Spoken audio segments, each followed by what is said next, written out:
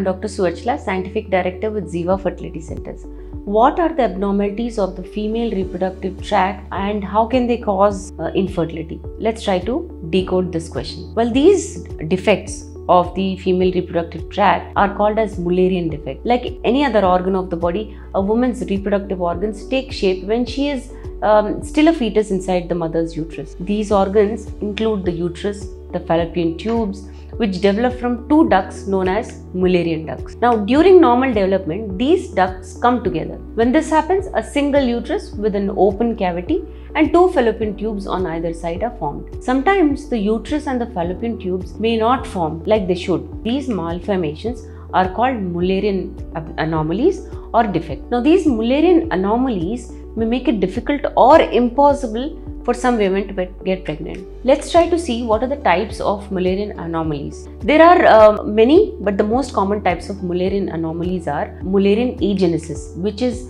the failure to form a uterus and fallopian tubes, disorders of fusion which occur when the Mullerian ducts fail to come together correctly. Often kidney problems develop in women with Mullerian abnormalities, mainly because the kidney develop next to the Mullerian system. So what causes Mullerian agenesis? Mullerian agenesis happens with the uterus, cervix, cervix is the opening of the uterus, and the upper vagina do not develop correctly at all. Instead, there is a small vaginal opening or a small kind of a dimple. Women with this disorder have normal ovaries and will have normal development of breast, clitoris, it's the part of the vulva and external genitalia. A woman is usually unaware that she has this problem until she's older. The main symptoms are the absence of periods or when there is pain when there when she's attempting sexual intercourse.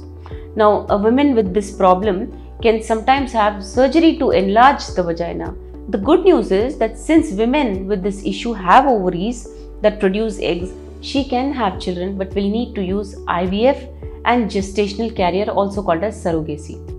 So what are the types of Mullerian duct fusion disorders which can cause infertility? A complete duplication of the uterus can sometimes be seen. In this situation, a woman has two uteri, cervices and vaginas. A bicornuate uterus in which two uteri share a single cervix and a vagina. This can cause painful periods if the cervix does not allow blood to flow through and can be corrected with surgery. A septate uterus. In this situation, there is a fibrous band of tissue growing through the uterus.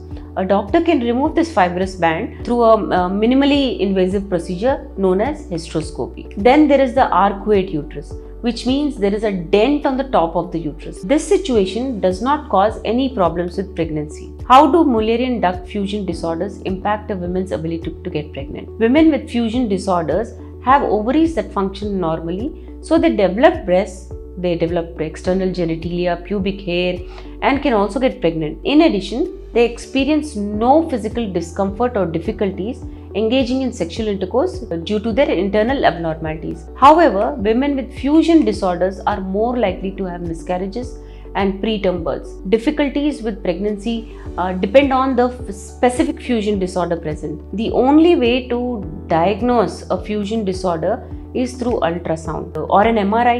It is uh, nothing but a magnetic resonance imaging or a surgical procedure. If you wish to understand more, you've been diagnosed with the Mullerian uh, disorders or uh, some um, malformation in your uterus and you want to understand your chances of pregnancy, please feel free to contact us. Thank you. A lot of effort has gone into making this video. Please like and subscribe us. Thank you.